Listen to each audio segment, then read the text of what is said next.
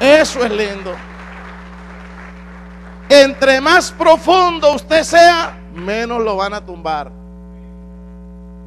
Diga, voy a hacerle zanja al altar. Y qué bueno que usted, no es una cuña, pero qué bueno que usted, si no ha llevado material, se lleve lo que quede. Y usted llegue en la casa y, y compare y estudie y analice. ¿Aló? Diga conmigo profundidad.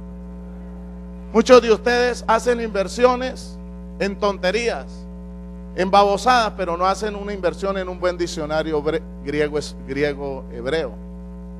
No hacen una inversión en un libro.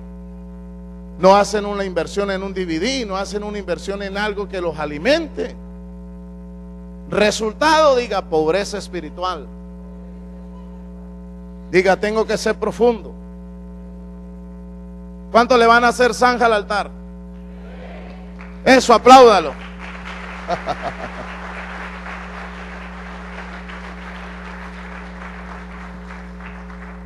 A ver, venga para acá, Panchito, venga para acá.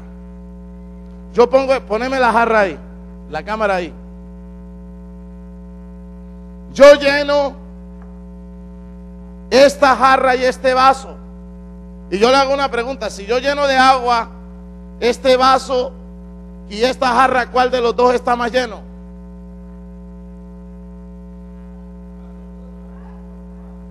No, todos dos. Todos los dos están llenos. Si yo les echo agua acá y a este, los dos los lleno. Pero, ¿quién tiene más capacidad? Entonces, ¿cuál es la enseñanza? El Señor te llena de acuerdo a la profundidad que tú tengas. Dios no puede llenar a alguien que no hace zanja, que no hace espacio.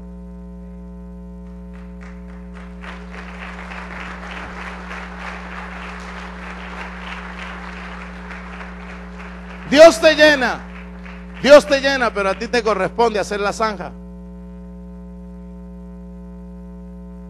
Es como aquel que se monta en el púlpito y dice voy a predicar por el Espíritu. Y si no estudió el, indio, ¿cómo el Espíritu le va a hacer recordar lo que no ha estudiado? Va a salir con un poco de babosada. Por eso usted ve púlpito que son puros. Gloria a Dios, bendito sea el nombre de Dios, aleluya. ¿Cuántos aplauden a Dios? Y Cristo viene y a su nombre gloria. Y los pastores dando, dando, bulla, bulla. Y la gente no aprende nada. Porque no tienen nada que dar, no son profundos. Y como usted tampoco le gusta la profundidad, cualquier tontería en cualquier iglesia se mete que le digan cualquier babosada. ¿Está comprendiendo? Diga, de ahora en adelante voy a ser más exigente. Exíjale al pastor profundidad. Aló, y por eso es que él trae ministerios y por eso es que trae y hace una inversión para que usted no quede en la simpleza, sino que usted sea profundo, porque de la profundidad va a depender la llenura del Espíritu Santo en su vida.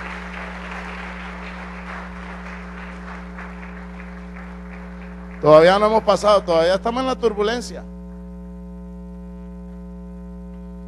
Está duro, ¿no? Número tres, semilla. Va a meter con los tacaños ahora.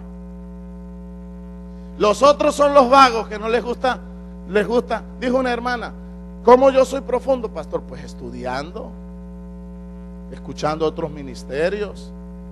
Dijo una hermana, ay hermano, el Señor a mí, me llamó a la radio, el Señor me liberó del insomnio.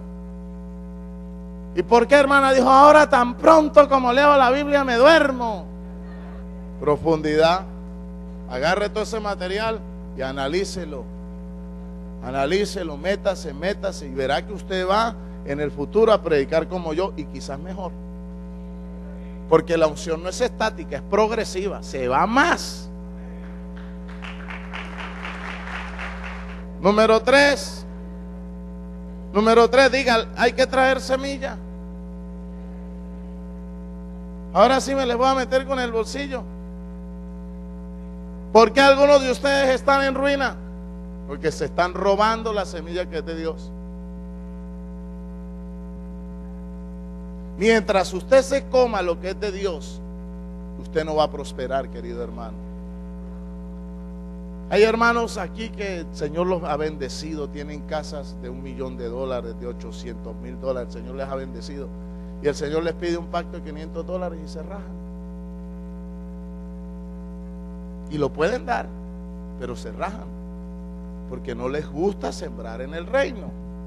Les gusta sembrar en terrenos diferentes, pero en el reino no. Y ahí es cuando comienza tu ruina. ¿Sabía usted que usted puede perder todo lo que Dios le ha dado? Y yo le voy a decir una cosa. Lo que usted no le da al reino, hay como cuatro pastores que están en el expreso, en el, en el freeway, en el freeway este, el, el Long Island Express. Hay cuatro, hay cuatro predicadores pidiendo diezmos en la carretera y andan con pistola. Se pasó la velocidad. ¿Y quién le va a decir que no? Pare ahí, hágame el favor. No, que es que yo soy evangélico y voy a a las naciones. Cállese, hombre. Tiene que pagar 350 dólares. Y tiene que irlo a pagar a la corte. ¿Me está comprendiendo, hermano? Lo que usted no le da a Dios, el diablo se lo va a quitar se lo quita a través de una enfermedad, se lo quita a través de, un siniestro, se lo quita a través de una cuenta exagerada, se lo quita a través del sistema de Baal que está fuera. ¿Por qué tu altar está en ruina? ¿Por qué no prosperas? Porque tú mismo te has autoimpuesto la maldición comiéndote la semilla que es de Dios. Y una mujer no puede permitir que su, que su esposo haga eso. Porque está trayendo ruina a su economía, está trayendo ruina a su hogar. ¿Cuántos quieren ser restaurados en las finanzas?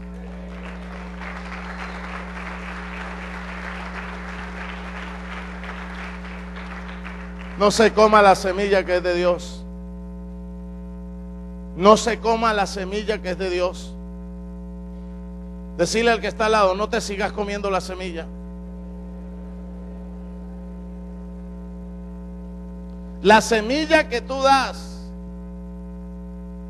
es la cosecha grande de prosperidad que viene sobre tu futuro, sobre tu familia. Entonces diga, Dios trabaja con principios. Dios no puede restaurar a alguien si no empieza a diezmar y empieza a pactar. El problema que tenemos en Colombia es que el colombiano siempre llega a la iglesia es cuando está paliado y pobre. Porque cuando tienen dinero le dan la espalda a Dios. Tenemos que quitar ese espíritu mezquino, esa maldición cultural hispana que tenemos. Vamos a restaurar nuestra vida. Vamos a restaurar el altar hoy. Y vamos a hacer un pacto con Dios de que no vamos a seguir robando lo que es de Él. Y que cada vez que Él nos bendiga, vamos a pactar, vamos a diezmar para que las bendiciones, para que los cielos siempre estén abiertos sobre nuestras familias y sobre nuestra economía.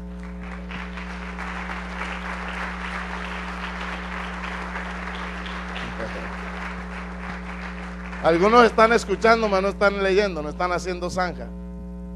¿Qué fue lo que dijo Elías? Tráigame dos semillas dos granos de semilla, dos medidas de semilla. ¿Quieres restauración en tu vida?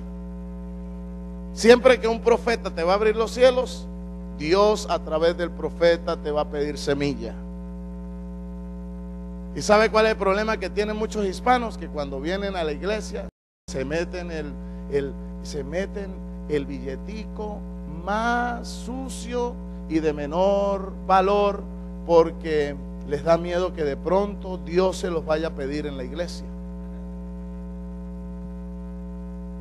¿Por qué no, por qué no, por qué no eres prosperado? Mire, el que, el que no le gusta sembrar, con esta recesión que hay afuera, va a trabajar más y va a ganar menos.